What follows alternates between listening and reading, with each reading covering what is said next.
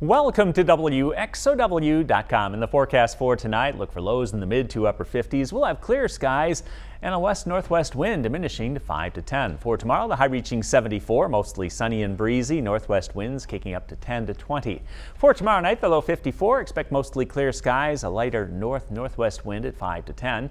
The extended seven-day outlook, plenty of sunshine for Thursday and Friday, highs in the mid to upper 70s. For Saturday, partly sunny and warm, the high 83, partly sunny, a bit cooler on Sunday with a high of 74. Then a slight chance of thunderstorms on Monday, the high 77, and a slight chance lingers into Tuesday with a high near 77 degrees.